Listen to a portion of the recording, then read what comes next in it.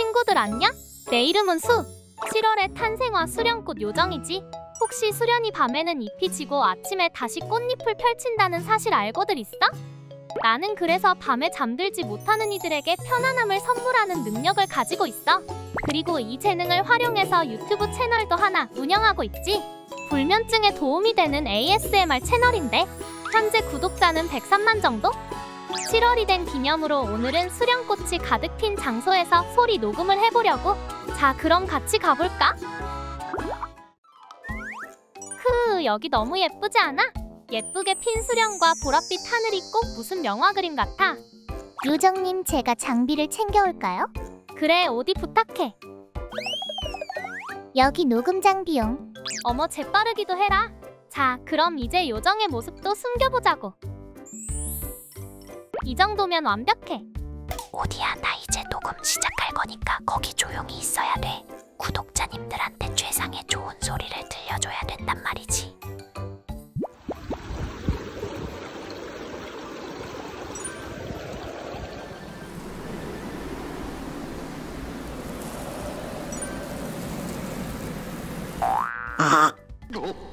야 저리 가. ASMR 관심 있니? 여기 좀 조용히 말해봐. 오좀 잘하는데. 야, 너 일로 와.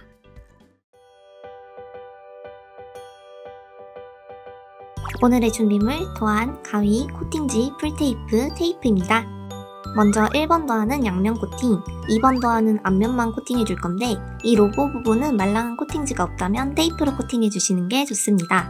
제가 늘 사용하는 이 코팅지는 저희 스토어에서 판매하고 있어요. 관심 있는 친구들은 스토어 탭에서 구경해 주기.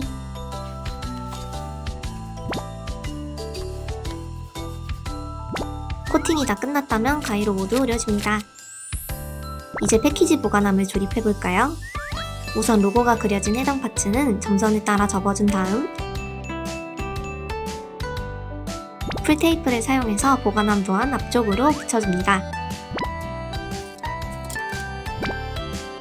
그리고 그 뒷면으로 놀이 배경지를 덧붙여주세요. 헤어 파츠는 표시된 부분에 테이프를 붙여 앞, 뒤를 연결해줍니다. 테이프는 가위집을 내서 꼼꼼하게 붙여주세요. 이제 남은 파츠들을 사용해서 내 마음대로 코디하며 놀이해보기.